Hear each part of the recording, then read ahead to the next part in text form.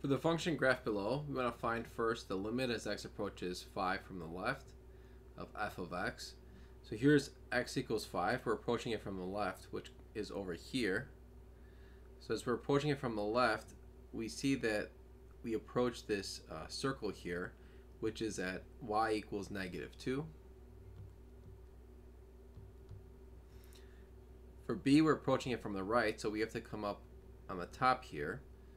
And so as we approach it from the right, we approach this circle, which is at x at y equals positive 2.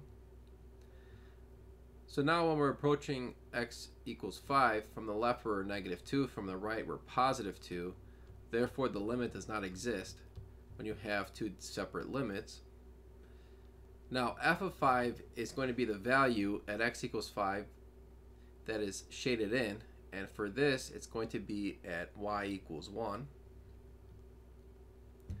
Now the limit as x approaches negative infinity of f of x, we have to go all the way to the left because that's where um, that's where we get closer and closer to negative infinity. So as you can see over here, uh, it's this is the line y equals negative 2 and so as uh, as x approaches negative infinity we're still going to be on this line y equals negative 2 so our limit is at negative 2. And then from the right, we are at the line y equals 2. So that limit has to be positive 2.